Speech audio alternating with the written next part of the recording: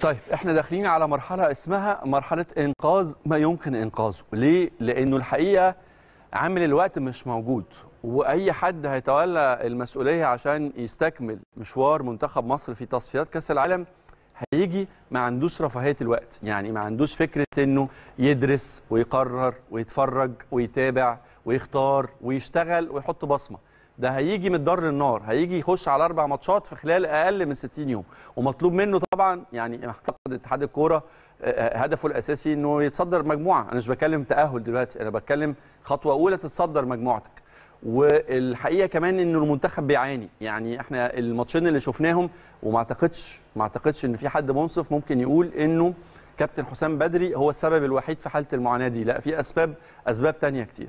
الكلام كمان على مين اللي يجي؟ إيه، محلي ولا وطني مصري ولا نروح للأجنبي ونريح دماغنا؟ ولو أجنبي ممكن يبقى مين؟ ولو مصري ممكن يبقى مين؟ والأهم من ده كله طب هيشتغل إزاي؟ هنطرح ده كله مع حضراتكم وبالتأكيد كمان هنتكلم على فرقتنا اللي إن شاء الله خلاص رسمي كده أول مباراة عندنا إن شاء الله طلائع الجيش سوبر بطولة جديدة إن شاء الله تضاف لخزاين ودولاب آه، بطولات النادي الأهلي. بيشرفنا النهارده كابتن عبد الله جلال واحد من نجوم طبعا النادي الأهلي. مساء الخير يا كابتن. مساء الخير يا فندم. منور الدنيا. الله يخليك نسعد بيك. دايما كابتن عبد الله. نسعد بيك دايما نبدأ من المنتخب لغز كبير. فترة صعبة ال- أكيد. الفترة الأخيرة. المعاناة يمكن حسيناها مش بس مع آه، تصفيات كأس العالم لكن حتى آه، على الرغم من النتائج أو الأهداف اتحققت يعني كابتن حسام البدري آه، وصل بالمنتخب بطولة آه، أمم أفريقيا. ونوعا ما نتائجه في ال- ال- التصفيات بتاعت كأس العالم مقبولة. إنك أنت تكسب على أرضك وتتعادل بره أرضك من ناحية النتائج كويس. لكن كان في شواهد كبيرة جدا ومواقف كتيرة جدا بتقول إنه مرحلة كابتن حسام كانت كلها معاناة. تتفق مع وجهة النظر ولا ليك وجهة نظر مختلفة؟ بص هو مش يعني لا لا اتفاق ولا هي اختلاف؟ هي القصة كلها برضو. مش عايزين نتكلم الفترة اللي فاتت آه، عايزين إن كان حصل لغط كبير آه. إن في ناس مع كابتن حسام وفي ناس أو الاغلبيه ضد كابتن حسام. يعني هو ممكن يكون على من الناحية ال- ال- الإدارية هو ظلم نفسه بنفسه. الفترات اللي هو كان محتاج فيها إن هو يعمل آه، آه، تجمعات للمنتخب ويعمل حتى مشاركات آه، دولية في حدود معينة هو أصر إن هو يدي راحة لل- لل- للاعيبه بتاعته. دي حاجة. الحاجة الثانية خلينا نتكلم إن النتائج زي ما حضرتك قلت في تصفيات اللي هي المؤهلة لبطولة أفريقيا هو نجح فيها بشكل كبير. ولكن الناس دايما كانت في الوقت ده بتنتقد الكابتن حسام إن أنت الفرق كلها اللي معاك يعتبر مستوى مع احترامي الكامل لل- للمنتخبات اللي لعبت معاك في التصفيات بتاعت أفريقيا أو حتى المجموعة الحالية في تصفيات كأس العالم. المستوى متدني إلى حد ما يعني أنت. المفروض كاسم منتخب مصر المفروض أنت تكون راكب المجموعة من بدري. تمام. يعني بلغة الكورة إن أنت تكون راكب المجموعة من بدري.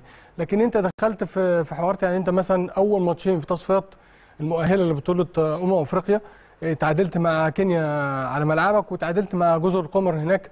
في في ملعبه. فأصبح إن في كلام وفي كلام كتير محطوط على كابتن حسام البدري وعلى المنتخب بشكل عام في في التوقيت ده. ضيف على كده إن أنت في الوقت ده كمان بتدخل على تصفيات كأس العالم. اللي ما كنتش أنت محطوط في الم... في ال... في مصاف الدول الكبيرة التصنيف الأول في في أفريقيا. إن أنت محطوط أنت مش تصنيف ومرشح أول في أفريقيا. لا أنا بتكلم في إن انت إن أنت في ألو... في الوقت ده مرشح من ضمن الناس المرشحة إن أنت تصعد في الت...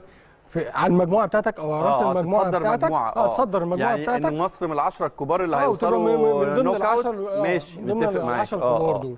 لكن لكن لما تيجي النهارده تحط خمس آه، يعني لا لا الخمس لا لا لا بناء على. النتائج لا لا آه، آه، بناء آه. على النتائج وعلى التصنيفات. آه لا أنت. أنت الخمسة. متأخر أنت في, في آه، الوقت يعني ده أقصد متأخر أقول إن في, في النهاية أنت مدر أو القائمين على الأمور مدركين انه فرصة مصر فرصة مصر في التأهل لكأس العالم صعبة مش سهلة مش محسومة. مش محسومة. صحيح؟ هو ما وبالتالي ده.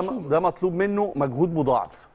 هو مطلوب منه الفترة أو الفترة الأخيرة أو النتائج الأخيرة وبالذات الماتش الأخير اداء ونتيجة خلتك أنت كمسؤول لازم أعيد أعيد التفكير في في الطريقة اللي أنا بتعامل بتعامل بها مع المنتخب بتاعي آه. أو منتخب بلدي.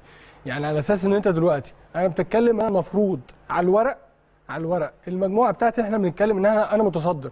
فمتصدر إزاي؟ لازم أكسب بره وجوه. مم. عشان أثبت إن أنا أقدر أكون من ضمن العشرة اللي هم هيلعبوا في التصفيات النهائية اللي هي توصل لكأس العالم. مم. ده ما اتحققش في الماتش الأخير. وبناء على الأداء اللي حصل سواء في الماتش أنجولا وتكملة ليه في ماتش آه، الجابون أنا كمسؤول لازم هقلق. بلغة الكورة كده هقلق هبقى عندي قلقان من إن لازم أكمل مع الجهاز ده. فبالطبيعي إن أنا هبص على على جهاز آه، جديد.